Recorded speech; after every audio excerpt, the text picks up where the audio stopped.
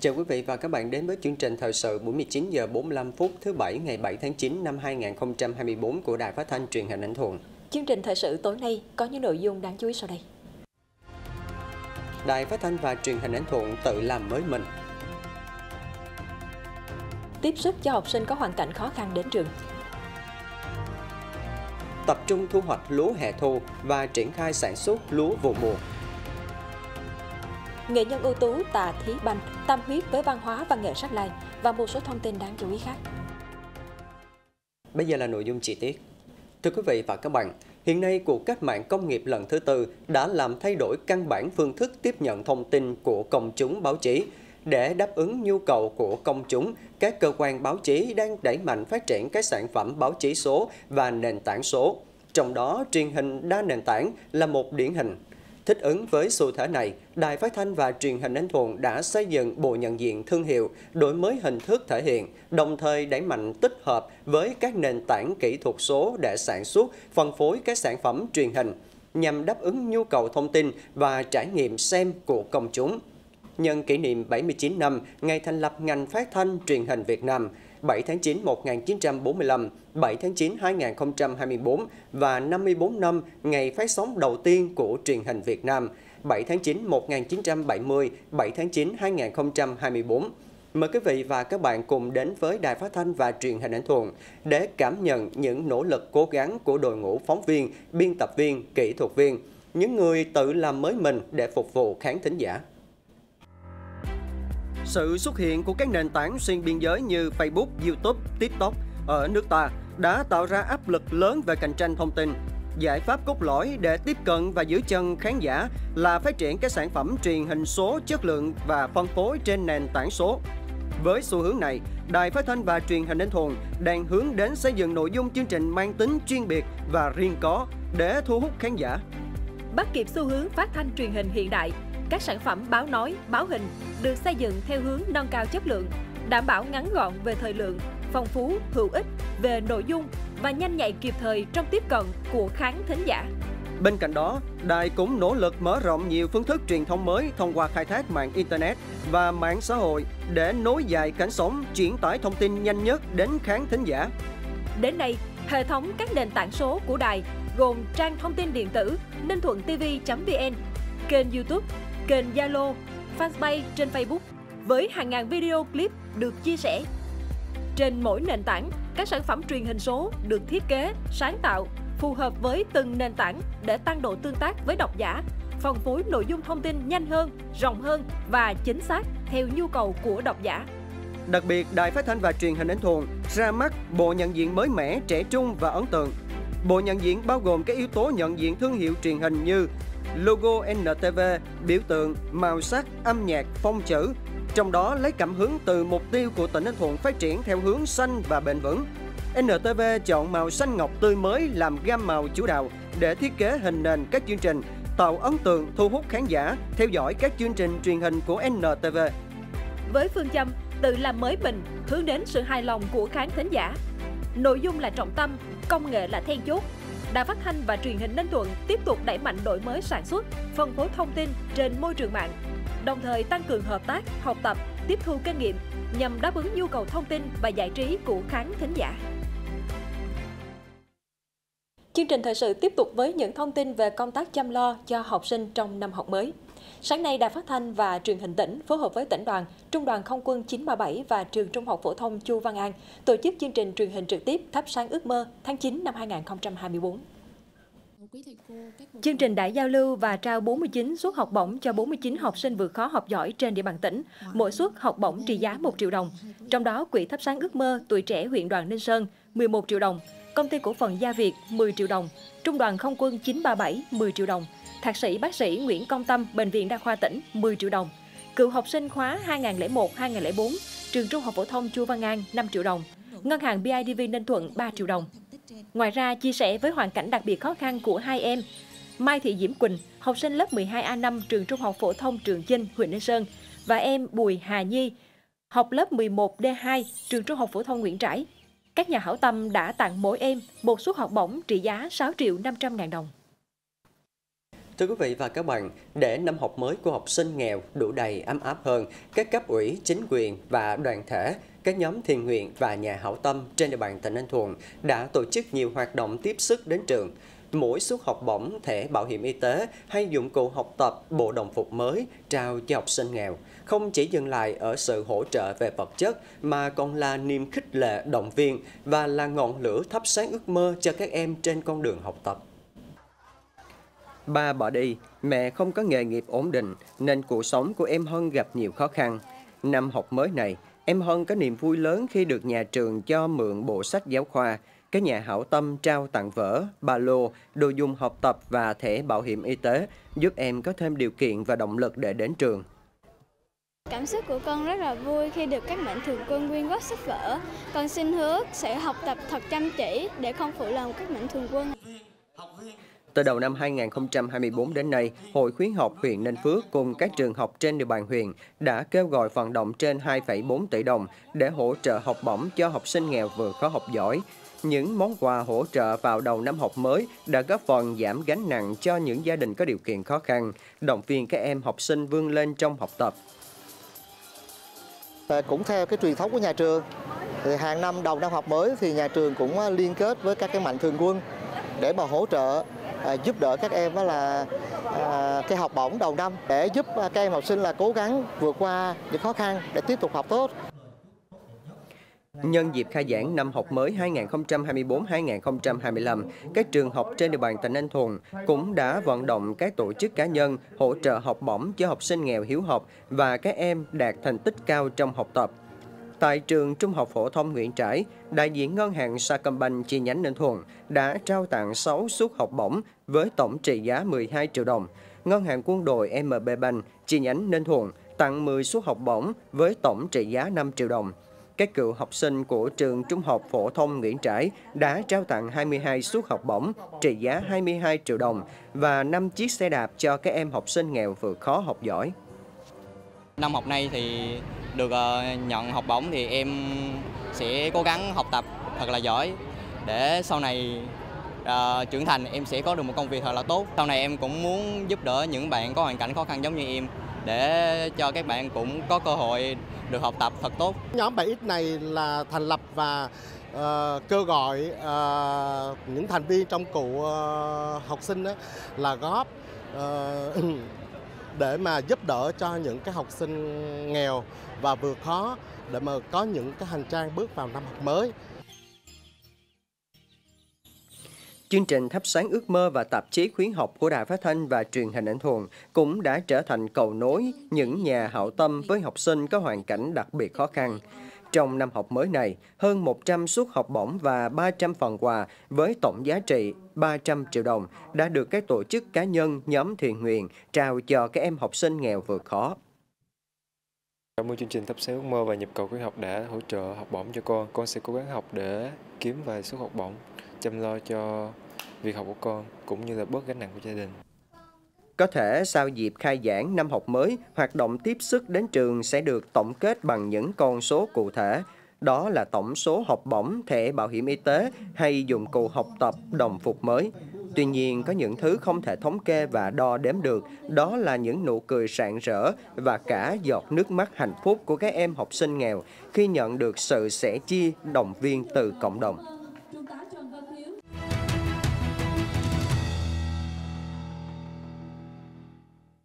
Chương trình thời sự tiếp tục với một số thông tin đáng chú ý khác. Với nhiều chính sách về thu hút đầu tư, 8 tháng năm 2024, Ninh Thuận đã phê duyệt điều chỉnh chủ trương đầu tư và cấp giấy chứng nhận đầu tư cho 40 dự án với tổng vốn đăng ký đạt 30.359,7 tỷ đồng. Trong đó, 6 dự án với số vốn 22.938 tỷ đồng đã được chấp thuận chủ trương đầu tư, hai dự án với vốn 134,7 tỷ đồng đã được cấp giấy chứng nhận đầu tư và 32 dự án còn lại với vốn 7.287 tỷ đồng đã được điều chỉnh chủ trương đầu tư. Thời gian tới, Ninh Thuận sẽ tiếp tục đẩy mạnh đầu tư, hỗ trợ, hướng dẫn trực tiếp cho doanh nghiệp, nhà đầu tư về quy trình, thủ tục đầu tư, giới thiệu các dự án đầu tư khai thác hiệu quả tiềm năng thế mạnh của tỉnh, tăng cường gặp gỡ đối thoại với các doanh nghiệp, nhà đầu tư để kịp thời nắm bắt tháo gỡ khó khăn vướng mắt trong quá trình triển khai thực hiện dự án, khơi thông nguồn lực tạo điều kiện cho doanh nghiệp đầu tư sản xuất, kinh doanh hiệu quả. Ủy ban dân tỉnh Ninh Thuận vừa ban hành công văn số 3960 về việc tiếp tục cải thiện môi trường đầu tư kinh doanh, cải cách hành chính, nâng cao chỉ số năng lực cạnh tranh cấp tỉnh BCI. Theo đó, để tiếp tục duy trì việc cải thiện nâng cao chỉ số BCI, phấn đấu năm 2024 đạt từ 71,70 điểm trở lên, tăng 2,61 điểm so với năm 2023, đưa BCI Ninh Thuận trong nhóm các tỉnh điều hành kinh tế tốt của cả nước. Ủy ban dân tỉnh đề nghị các sở ngành và Ủy ban dân huyện thành phố tiếp tục quán triệt nhận thức trong cán bộ, công chức viên chức về tầm quan trọng của việc cải thiện môi trường đầu tư kinh doanh, nâng cao tinh thần trách nhiệm, thái độ phục vụ trong giải quyết các vấn đề liên quan đến doanh nghiệp, tăng cường kỷ cương kỷ luật hành chính, tiếp tục rà soát cắt giảm đơn giản hóa thủ tục hành chính, bãi bỏ các thủ tục hành chính không phù hợp, công khai đầy đủ kịp thời, đúng quy định, quy trình xử lý, các thủ tục hành chính để doanh nghiệp, nhà đầu tư có thể kiểm soát tiến độ thực hiện vướng mắc phát sinh và trách nhiệm giải quyết công việc. Chương trình thời sự tiếp tục với những thông tin trên lĩnh vực nông nghiệp. Theo quy định, giấy chứng nhận cho các sản phẩm ô cóp đạt từ 3 đến 5 sao có giá trị 36 tháng kể từ ngày cơ quan có thẩm quyền ban hành. Để đảm bảo quyền lợi của các sản phẩm được công nhận, các ban ngành địa phương đang tích cực đẩy mạnh tuyên truyền, vận động các chủ thể tiếp tục bổ sung hoàn thiện hồ sơ, nâng cao chất lượng sản phẩm để duy trì các tiêu chí và đăng ký đánh giá phân hạng lại sản phẩm. Cụ thể, để nâng hạng sản phẩm ô cóp từ 3 sao lên 4 sao, các chủ thể phải đầu tư cải tiến dây chuyền, quy trình sản xuất, đóng gói sản phẩm, nâng cấp bao bì. Đối với nâng cấp từ 4 sao lên 5 sao, phải xây dựng được vùng nguyên liệu ổn định, sản xuất chuyên nghiệp, có hệ thống phân phối sản phẩm trên quy mô toàn quốc và có sản phẩm được thị trường thế giới chấp nhận. Cùng với đó, các chủ thể cũng cần chủ động tham gia trong việc đăng ký lại, đánh giá, xếp hàng lại ô cóp cho sản phẩm hết thời hạn, quan tâm đến nâng cao chất lượng uy tín và tính ổn định của sản phẩm để tạo niềm tin với người tiêu dùng. Thưa quý vị và các bạn, nhờ thời tiết thuận lợi, xuống giống đúng lịch thời vụ và điều tiết nước hợp lý, nên năng suất lúa vụ hè thu 2024 tại các địa phương trên địa bàn tỉnh Ninh Thuận đạt bình quân 65 tạ trên 1 hecta. Hiện nông dân trong tỉnh đang tập trung thu hoạch dứt điểm vụ lúa hè thu 2024 và triển khai làm đất để sản xuất lúa vụ mùa 2024 theo đúng kế hoạch đề ra. Những ngày này, nông dân trong tỉnh đang tập trung thu hoạch rộ lúa hè thu 2024. Tại huyện Ninh Phước, hầu hết diện tích lúa hè thu năm nay đều đạt năng suất từ 65 đến 70 tạ trên 1 hecta, cao hơn từ 2 đến 3 tạ trên 1 hecta so với vụ hè thu năm trước. Đặc biệt, những vùng được chuyển đổi sản xuất hai vụ lúa trên một năm có năng suất cao hơn hẳn vùng sản xuất 3 vụ lúa trên một năm, đạt từ 70 đến 75 tạ trên một hecta. Cá biệt có diện tích đạt 80 tạ trên một hecta. Mười uống sao được 7 tạ cho lúa thì 8 8 ngàn mấy gần 9 9 ngàn lúa khô. Nó chi phí hết mà là được 5 triệu. Tính đến ngày 7 tháng 9, nông dân tỉnh Ninh Thuận đã thu hoạch trên 95% diện tích lúa hè thu 2024 với năng suất bình quân 65 tạ trên 1 hecta. Hiện giá lúa tươi được thương lái thu mua tại ruộng từ 7.800 đến 8.000 đồng trên một kg và giá lúa khô từ 8.800 đến 9.000 đồng một kg. Đây là mức giá cao kỷ lục từ trước đến nay. Nhờ đồng áp dụng đồng bộ các cái tiến bộ kỹ thuật như là về cái giống, các cái dòng lúa mới, rồi là cái một phải năm giảm trong sản xuất lúa và ứng dụng cái cơ giới hóa trong cái sản xuất lúa cho nên cũng đã là góp phần giảm được cái tỷ lệ thất thoát à, sau thu hoạch và nhờ đó thì năng suất sản lượng lúa là không ngừng tăng. Hiện tại, Ủy ban dân các huyện, thành phố chỉ đạo các xã thị trấn hướng dẫn nông dân tập trung thu hoạch dứt điểm lúa hè thu 2024 trước ngày 10 tháng 9 để kịp thời xuống giống vụ mùa 2024 theo đúng kế hoạch đề ra. Giá lúa tăng cao cùng với giá cả vật tư phân bón thuốc bảo vệ thực vật hạ nhiệt là điều kiện thuận lợi để nông dân tiếp tục tái đầu tư trong vụ mới. Cơ cấu giống làm sao cho nó phù hợp à, với lại khí hậu thổ nhưỡng và đồng thời là có lịch điều tiết nước. Hiện nay thì tất cả các cái địa bàn của ờ, xã, vùng trọng điểm lúa thì đều có cái tổ bim theo nước để mà điều tiết nước ờ, cho làm sao mà mà trong quá trình ờ, gieo cấy từng vùng một và điều tiết nước đồng loạt là là chúng ta cày ải chúng ta xuống vụ từng từng vùng, từng đợt và từng lịch thời gian để mà tránh né đi những cái sâu bệnh. Vụ mùa 2024 tỉnh Ninh Thuận dự kiến xuống giống gần 16.000 hecta lúa. Để sản xuất lúa đạt hiệu quả, Ủy ban dân tỉnh Ninh Thuận giao Sở Nông nghiệp và Phát triển Nông thôn chủ trì phối hợp với các ngành địa phương hướng dẫn thực hiện gieo trồng đúng khung lịch thời vụ và cơ cấu giống phù hợp, tăng cường công tác dự tính dự báo các đối tượng sinh vật gây hại trên lúa và đẩy mạnh ứng dụng các mô hình 3 giảm 3 tăng, 1,5 giảm, kỹ thuật sang phẳng mặt ruộng bằng tia laser nhằm nâng cao hiệu quả sản xuất.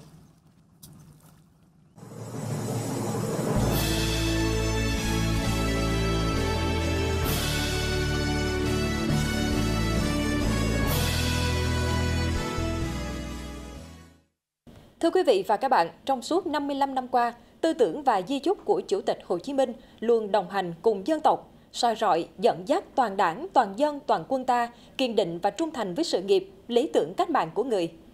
Kế tục xuất sắc sự nghiệp cách mạng vĩ đại mà người đã trọn đời cống hiến và hy sinh – những thành tựu to lớn đạt được sau 55 năm thực hiện di chúc của Chủ tịch Hồ Chí Minh sẽ là động lực để toàn đảng, toàn quân và toàn dân ta quyết tâm thực hiện thắng lợi mục tiêu phát triển đất nước đến năm 2025 và năm 2030, xây dựng một nước Việt Nam ngày càng giàu mạnh, văn minh, văn hiến và anh hùng. Trong đó, giải pháp quan trọng đầu tiên là kiên định mục tiêu độc lập dân tộc gắn liền với chủ nghĩa xã hội, thực hiện thắng lợi các mục tiêu phát triển đất nước. Đây cũng là nội dung sẽ được đề cập trong mục 55 năm thực hiện di chúc của Chủ tịch Hồ Chí Minh hôm nay. Những thành tựu to lớn có ý nghĩa lịch sử của sự nghiệp đổi mới do đảng ta khởi xướng và lãnh đạo tổ chức thực hiện là sản phẩm kết tinh, sức sáng tạo, là kết quả của cả một quá trình nỗ lực phấn đấu bền bỉ, liên tục qua nhiều nhiệm kỳ của toàn đảng, toàn dân, toàn quân ta. Tiếp tục khẳng định con đường đi lên chủ nghĩa xã hội của chúng ta là đúng đắn, phù hợp với quy luật khách quan, với thực tiễn Việt Nam và xu thế phát triển của thời đại. Đường lối đổi mới của đảng ta là đúng đắn, sáng tạo. Sự lãnh đạo của đảng là nhân tố hàng đầu quyết định mọi thắng lợi của cách mạng Việt Nam. Cương lĩnh chính trị của đảng tiếp tục là ngọn cờ tư tưởng, lý luận dẫn dắt dân tộc ta vững vàng tiếp tục đẩy mạnh toàn diện đồng bộ công cuộc đổi mới,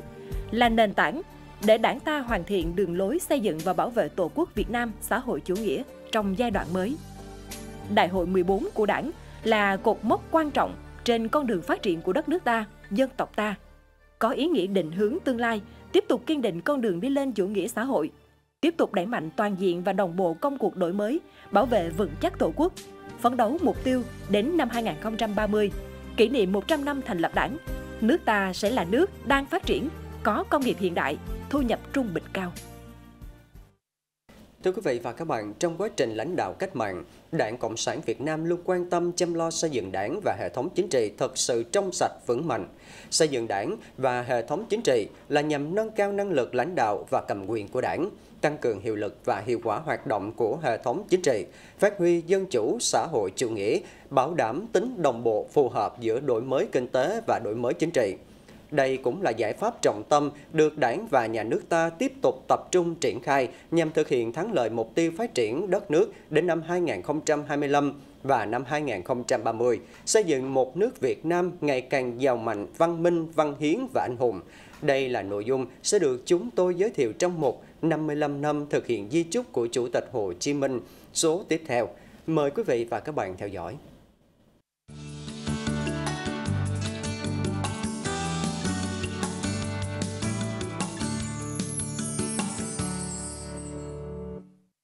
Thưa quý vị và các bạn, giữ chức vụ trưởng ban dân tộc Hội đồng Nhân dân huyện Thuận Nam. Dù bận rất nhiều công việc, nhưng nghệ nhân ưu tú Tà Thí Banh vẫn luôn miệt mài nghiên cứu, sưu tầm, tìm lại những bài nhạc cổ, nghi lễ truyền thống của đồng bào dân tộc Sắc Lai để truyền dạy cho thế hệ trẻ.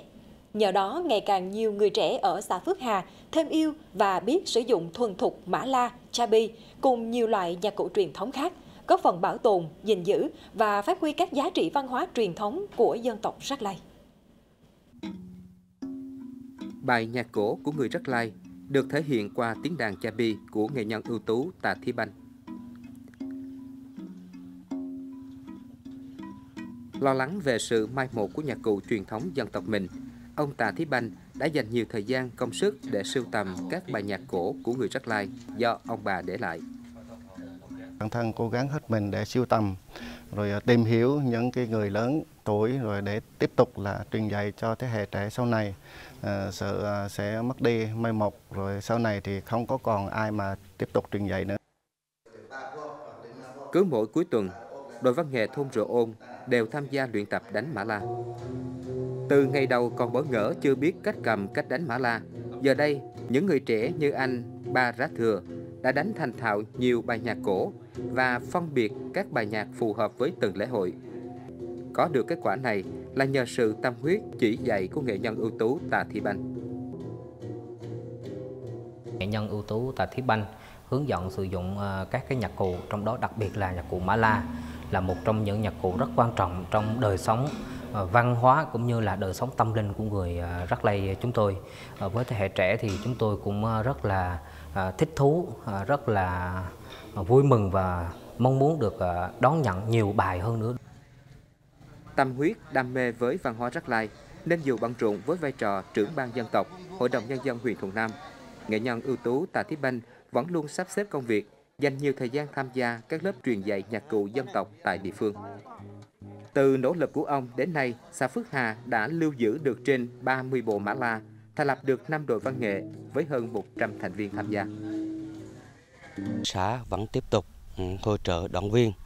à, nghệ nhân tại Thia Banh à, tiếp tục à, tuyên truyền à, cho các thế hệ trẻ. À, thứ nhất thứ hai nữa vẫn tiếp tục duy trì cái đánh mã la rồi tiếp tục tuyên truyền về cho các thế hệ trẻ về lưu truyền lại cái nhạc cổ này và các tổ chức ờ, không phải riêng kiểu Mala và các nhạc cụ khác như đàn chapi, như kèn bầu. Yêu văn hóa dân tộc, nghệ nhân ưu tú Tạ Thí Banh được ví như chiếc mã la mẹ, ngày ngày giữ nhịp cho các mã la con góp tiếng, làm nên bản hòa âm vang vọng giữa núi rừng quê hương.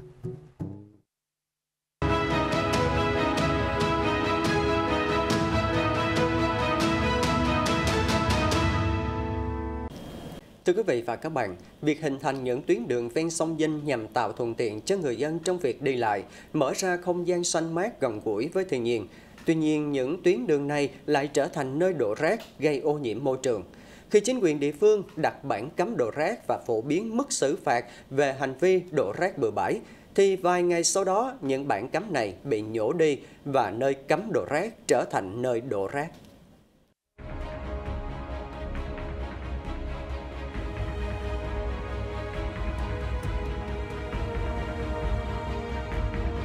Quăng người bịch buổi sáng là thấy là trưa à, trên trưa 12 giờ tiền lại đổ cánh trưa rồi mà à, một, hai giờ sáng là đổ thôi chứ. Mới hôm qua thấy đó giờ thấy nó mất cái bảng nữa dân mà đi tập thể dục đi ra đó, đi cũng không nổi luôn mà. Tính là bắt camera để xử phạt nhưng mà chưa làm được. Đi ngang qua đi hôi nồng nặc luôn.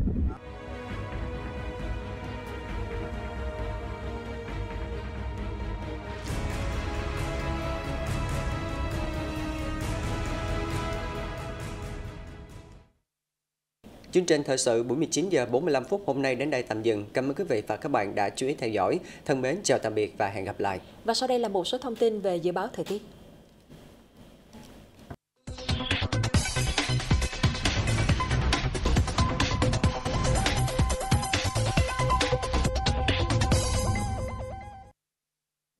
Dự báo thời tiết đêm 7 tháng 9, ngày 8 tháng 9 năm 2024 như sau. Thủ đô Hà Nội có mây có mưa rào và dông, nhiệt độ từ 24 đến 30 độ.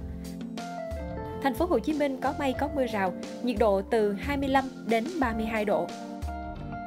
Thành phố Nha Trang, tỉnh Khánh Hòa có mây không mưa, nhiệt độ từ 28 đến 33 độ. Thành phố Phan Thiết, tỉnh Bình Thuận, nhiều mây có mưa vừa, nhiệt độ từ 26 đến 32 độ. Thành phố Đà Lạt, tỉnh Lâm Đồng có mây không mưa, nhiệt độ từ 17 đến 21 độ. Tiếp theo là thời tiết tỉnh Ninh Thuận. Các khu vực trong tỉnh mây thay đổi, có mưa rào và dông vài nơi, chủ yếu ở vùng núi. Gió Tây Nam cấp 3, ven biển cấp 4, cấp 5. Cụ thể, thời tiết từng khu vực như sau. Khu vực huyện Ninh Hải, Thuận Bắc, mây thay đổi, chủ yếu đêm không mưa, ngày nắng. Gió Tây Nam cấp 3, ven biển cấp 4, cấp 5. Nhiệt độ từ 24 đến 33 độ. Khu vực thành phố Phan Rang Tháp Chàm, mây thay đổi đêm không mưa, ngày nắng, gió Tây Nam cấp 3, ven biển cấp 4, cấp 5, nhiệt độ từ 24 đến 32 độ. Khu vực huyện Ninh Phước, Thuận Nam, mây thay đổi, chủ yếu đêm không mưa, ngày nắng, gió Tây Nam cấp 3, ven biển cấp 4, cấp 5, nhiệt độ từ 23 đến 34 độ. Khu vực huyện Ninh Sơn, Bác Ái, mây thay đổi, đêm có mưa rào và dông vài nơi, ngày nắng, gió Tây Nam cấp 3, cấp 4, nhiệt độ từ 23 đến 33 độ. Tiếp theo là dự báo thời tiết biển, vùng biển Ninh Thuận mây thay đổi, có mưa rào và dông. Trong cơn dông đề phòng lốc xét, gió Tây Nam mạnh cấp 6, có lúc cấp 7, giật cấp 8, cấp 9, sóng biển cao từ 3 đến 5 mét, biển động mạnh.